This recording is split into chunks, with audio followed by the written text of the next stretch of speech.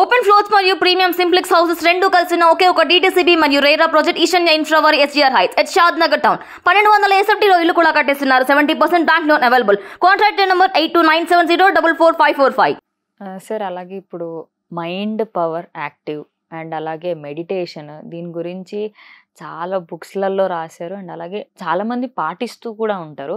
కానీ ఇందులో ఒక చిన్న అంటే నాకు ఉన్న సందేహం అని చెప్పొచ్చు.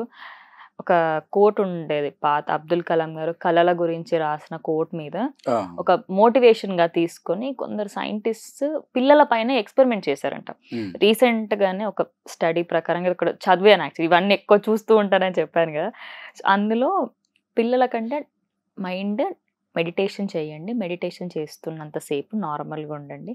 దాని తర్వాత ప్రతిసారి మిమ్మల్ని మీరు యాక్టివ్ చేసుకోవడానికి ప్రతిసారి అనుకోండి.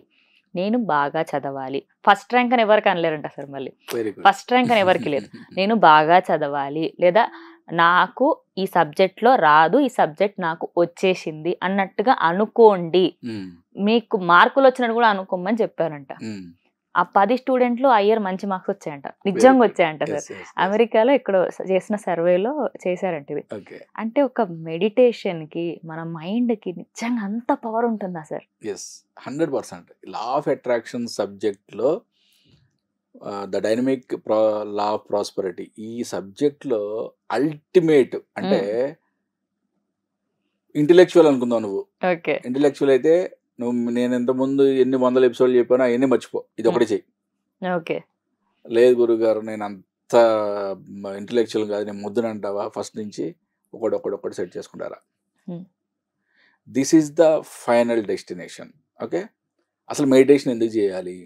ఓకే విజువలైజేషన్ ఎందుకు చేయాలి? ఏం అవసరం? ఏం అవసరం? అదే. ఎస్ అసలు మెయిన్ కీ అంతా ఇక్కడే ఉంది. ఈ సబ్జెక్ట్ యొక్క గొప్పతనం మొత్తం ఈ. మెడిటేషన్ అండ్ విజువలైజేషన్ పార్ట్లోనే ఉంది. చాలా ఇంపార్టెంట్ ఇది. అసలు ఎందుకు మెడిటేషన్ ఎందుకు చేయాలి ఫస్ట్ ఆఫ్ ఆల్. ఇప్పుడు మన యొక్క మైండ్ ఫ్రీక్వెన్సీని మనం హెడ్జ్లో కొలుస్తారు. ఓకే. Zero to four. హెడ్జ్లో ఉన్నప్పుడు డెల్టా వేవ్స్ అంటారు. ఫోర్ టు ఎయిట్ హెడ్జ్లో ఉన్నప్పుడు తీటా వేవ్స్ అంటారు. ఓకే. ఓకే? ఇట్లా ఎయిట్ టు ట్వెల్వ్ ఇవన్నీ గామా అని రకరకాల రేస్ వాటి పేర్లు ఉంటాయి మనకి important zero to four four to eight. Okay. అంటే మనకి మనిషి అల్లకల్లోలంగా ఉన్నప్పుడు ట్వెల్వ్ సిక్స్టీన్ ఫోర్టీన్ ఇట్లా ఎక్కువ కూడా ఉంటుంది. అవన్నీ కూడా మనకి పెద్ద ఇంపార్టెంట్ కావు. ఓకే? జీరో టు ఎయిట్ వరకు మనకి yes. Zero to four four to eight మనకి చాలా ఇంపార్టెంట్. ఎందుకు ఇంపార్టెంట్? ఇప్పుడు మనం మాట్లాడుతున్నాం. నేను మాట్లాడుతున్నానంటే కాన్షియస్ మైండ్ నాకు చెప్తుంది. ఇది మాట్లాడు అది మాట్లాడు అని చెప్తుంది. బట్. వెనకాల ఆల్రెడీ ఇంకొకటి బ్యాక్గ్రౌండ్ నడుస్తూ ఉంటుంది. సబ్ కాన్షియస్ మైండ్ వేరే ఊర్లో ఉంటుంది సార్. ప్యారిస్లో ఉంటుంది. నిజంగానే. అక్కడ ఏం జరుగుతుందో. లేకపోతే మా ఇంట్లో ఏం కూర చేశారు? నా నెక్స్ట్ షెడ్యూల్ ఏంటి? అవన్నీ కూడా. వెనకాల నడుస్తూ ఉంటాయి. అవును. ఖచ్చితంగా. అంటే సబ్ కాన్షియస్ మైండ్ యొక్క పార్ట్ చాలా ఎక్కువ. Eighty to eighty five percent subconscious mind చేస్తుంది పని. ఫిఫ్టీన్ టు ట్వంటీ పర్సెంట్ మాత్రమే కాన్షియస్ మైండ్ చేసేది పని. మరి ఇప్పుడు ఎవరు గొప్ప? Subconscious mind. గొప్ప. మరి సబ్ కాన్షియస్ మైండ్ ఎప్పుడు యాక్టివ్లో ఉంటుంది? గాఢ నిద్రపోయినప్పుడు యాక్టివ్లో ఉంటుంది. గాఢ నిద్రపోయినప్పుడు నీ యొక్క వేవ్ లెంత్ ఎలా ఉంటుంది? జీరో టు ఫోర్ ఉంటుంది. జీరో టు ఫోర్ ఉన్నప్పుడు నువ్వు మైండ్కి ఎలా చెప్తావు? ఏం చెప్పలేవు. ఏం చెప్పలేము ఓయ్యో అప్పుడు ఏం చేయాలి? కళ్ళ కనాలి. అంతే కదా పడుకొని? కాబట్టి ఏంటంటే ఎప్పుడైతే మనం మనం కామ్ డౌన్ అయ్యి మనం మెడిటేషన్ చేస్తున్నామో మనం ఫోర్ టు ఎయిట్ హెడ్జ్లో మన యొక్క మైండ్ ఫ్రీక్వెన్సీ ఉంటుంది. ఇప్పుడు ఇంకా ప్రయత్నం చేసావు నువ్వు. ఫోర్ దగ్గరికి వచ్చావు. ఎప్పుడైతే అక్కడ సబ్ కాన్షియస్ మైండ్ యాక్టివ్ అవుతూ ఉంటుంది కాన్షియస్ మైండ్ మినిక్ మినిక్ మినిక్ అంటూ ఉంటుంది. అప్పుడు నువ్వు చెయ్యి. అందుకే కదా meditation meditation meditation subconscious mind sub activate conscious mind ఎప్పుడైతే నువ్వు ఫోర్ ఫ్రీక్వెన్సీలో నువ్వు ఫోర్ హెడ్స్ ఫ్రీక్వెన్సీలోకి నీ మైండ్ లాక్కు రాగలిగావో ఓకే? నీ సబ్ కాన్షియస్ మైండ్ మీద నీ యొక్క అఫర్మేషన్ ముద్ర వేసావో హండ్రెడ్ పర్సెంట్ జరిగిపోద్ది. ఎందుకు? మళ్ళీ కాన్షియస్ మైండ్ పక్కన చెప్తా ఉంటది. అరే నీ జేబులో యాభై రూపాయలు లేవు నువ్వు యాభై కోట్లు అంటున్నావు నువ్వు ఏంటి అంటది? నువ్వు నువ్వు అది పట్టించుకున్నావు అనుకో కాన్షియస్ మైండ్లో మైలం పడిపోతావు మళ్ళీ. అంటే ఎప్పుడైతే ఫోర్ డిగ్రీస్ ఫోర్ హెడ్జ్ ఫ్రీక్వెన్సీలోకి నీ మైండ్ లాకెళ్ళావో కాన్షియస్ మైండ్ యొక్క ప్రభావం చాలా తగ్గిపోతుంది కాబట్టి మామూలుగా నువ్వు ఫోర్ టు ఎయిట్ ఎయిట్ దాటిన తర్వాత కాన్షియస్ మైండే ఎక్కువ చెప్పుద్ది. అసలు సబ్ కాన్షియస్ మైండ్ ఇంకా లైన్లోకి రాదు. మనం ఏ అఫర్మేషన్ అనుకుంటున్నా కానీ అది పక్కన చెప్తా ఉంటది. నువ్వేమైనా పిచ్చోడు ఏంటి? నువ్వెంత? నువ్వు నీ కెపాసిటీ ఎంత అంత ఏంటి అదేంటి? ఇదేంటి? అని పక్కన చెప్తానే ఉంటుంది అన్నమాట అది. నీ జే జేబులో పది రూపాయలు లేవు నువ్వు అది కొంటావంటే ఇది కొంటావంటే ఎక్కిరిస్తూ ఉంటుంది అది కాన్షియస్ మైండ్ ఎగ్జాక్ట్లీ ఇది ఇదే జరుగుద్ది. ఎప్పుడైతే ఫోర్ టు ఎయిట్ హెడ్స్లో మనం మెడిటేషన్ లాకు రాగలిగాం ఆటోమేటిక్గా కాన్షియస్ మైండ్ యొక్క ప్రభావం తగ్గిపోతూ ఉంటుంది. ఓకే. ఫోర్ ఫ్రీక్వెన్సీలోకి మనం రాకు రాగలిగితే ఓకే? ఫోర్ బిలోకి రాగ లాక్కొస్తే మనం ఇంకా గాఢనతలోకి వెళ్ళిపోతాం. కాబట్టి ఫోర్ హెడ్జ్ ఫ్రీక్వెన్సీలో కనుక మన యొక్క మైండ్ పవర్ లాక్కు రాగలిగితే లాక్కు రాగలం గలిగితే కాదు. రాగలం మనం మనకు కావాల్సింది ఏంటి పట్టుదల నమ్మకం విశ్వాసం ఇంతకు మించి ఏం అవసరం లేదు. హండ్రెడ్ పర్సెంట్ సక్సెస్ సాధిస్తాం. అక్కడ మనకి ఆ ఆ మైండ్ పవర్ని ఆ ఫోర్ హెడ్జ్ ఫ్రీక్వెన్సీలో లాక్కొచ్చినప్పుడు మీ యొక్క అఫర్మేషన్ని సబ్ కాన్షియస్ మైండ్కి పర్ఫెక్ట్గా ప్రింట్ అయ్యేలా చెప్పండి. ఓకే? అద్భుతాలు జరుగుతాయి. అద్భుతాలు అంటే అద్భుతాలు జరుగుతాయి. కాబట్టి మనం ఈ సబ్జెక్ట్లో మెడిటేషన్ ఇంపార్టెంట్ మెడిటేషన్ ఇంపార్టెంట్. మీరు ఎవరు ఇప్పుడు ఒక యూట్యూబ్ ఛానల్స్ ఓపెన్ చేసి చూడండి మెడిటేషన్ చూడండి. బ్రహ్మముహూర్త కాలం చూడండి.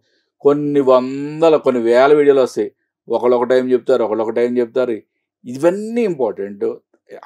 నాన్ ఇంపార్టెంట్ ఇంపార్టెంట్ పక్క పెట్టేద్దాం బట్ బ్రహ్మ ముహూర్తం అనేది చాలా శాస్త్రాల్లో ఎక్కువగా మనకు చెప్పింది ఏంటంటే సూర్యోదయానికి రెండు గడియల ముందు అంటే నలభై ఎనిమిది నిమిషాల ముందు బ్రహ్మ ముహూర్తం అని చెప్పారు.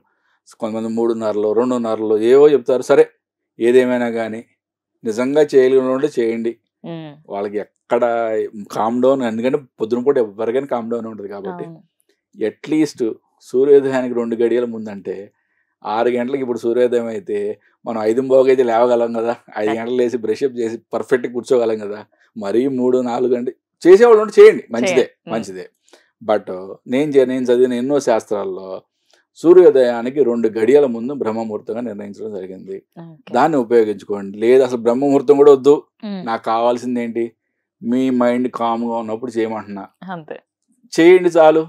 సార్ గురుగారు నేను మంచిగా నిద్రపోయే ముందు నేను కొద్ది కామ్గా ఉంటాను సార్. అప్పుడే చేయండి. పొట్ట నిండుగా ఉన్నప్పుడు కాకుండా బాబు తిని కాసేపు వాకింగ్ చేసేది చేసుకొని మంచిగా అప్పుడు. దాన్ని మంచిగా కామ్ డౌన్ చేసుకుంటే నీ మైండ్ పవర్ యాక్టివేట్ అవుద్ది. హండ్రెడ్ పర్సెంట్ దాంట్లో ఎటువంటి డౌట్ లేదు.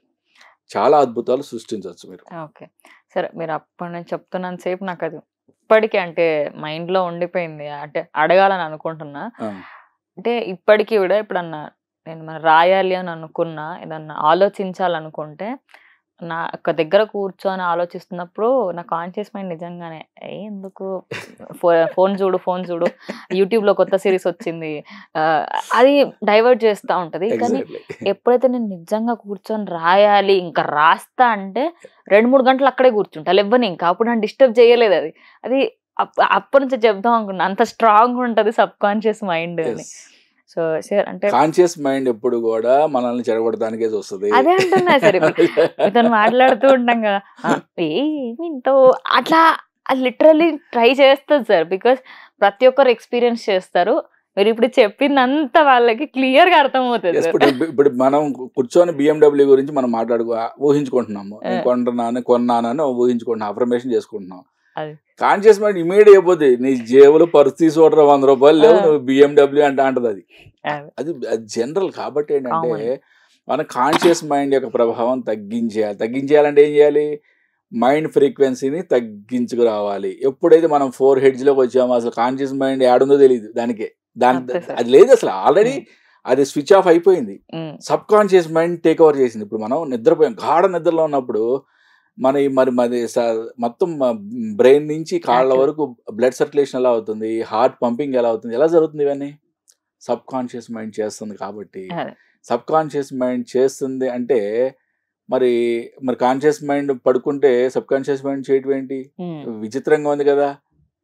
హండ్రెడ్ పర్సెంట్ చేసేది అదే కదా. మరి అంటే ఆటోమేటిక్గా జరిగేది సబ్ కాన్షియస్ మైండ్ అయితే మనం అనుకోని లేదా తర్జన భర్జన చేసేది కాన్షియస్ మైండ్ అయితే. ఏది పర్ఫెక్ట్? Sub conscious mind. కాబట్టి ఏంటంటే ఆ ఫోర్ హెడ్స్లో లాక్ వచ్చినప్పుడు మనం మన యొక్క మైండ్ పవర్ని కాన్షియస్ మైండ్ ఆల్రెడీ ఆఫ్ అయిపోయినట్లే. అంతే ఓకే? అప్పుడు మనకి ఆలోచనలు రావు. మనం ఎప్పుడైతే సార్ అఫర్మేషన్ అనుకుంటున్నామో నిన్ను కాంట్రడిక్ట్ చేయడానికి కాన్షియస్ మైండ్ ఆల్రెడీ కాన్షియస్లో లేదు. అది ఆల్రెడీ స్విచ్ ఆఫ్ అయిపోయింది. ఫోర్ డి Hmm. ఫోర్ హెడ్స్లోకి మైండ్ పవర్ లాక్కు రాగలగడం అంటే నువ్వు విజయం సాధించినట్టే. అంతే. అంతే. Thank you sir thank you so much